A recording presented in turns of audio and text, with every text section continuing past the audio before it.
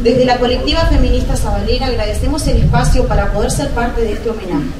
Luisa fue una de las fundadoras de la colectiva, fue parte de esas primeras mujeres de Juanacase que se juntaron a planificar una marcha, a repartir volantes, a llevar invitaciones a las instituciones para concientizar sobre la desigualdad de derechos que vivimos las mujeres.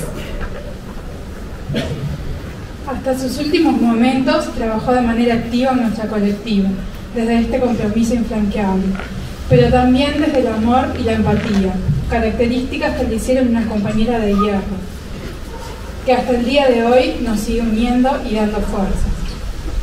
Homenajeamos a Luisa con la mayor alegría y agradecimiento por tener el privilegio de caminar junto a ella. Una mujer que hizo historia en Juan Lacase y sigue dejando su huella en quienes la conocimos y compartimos el camino de la lucha feminista.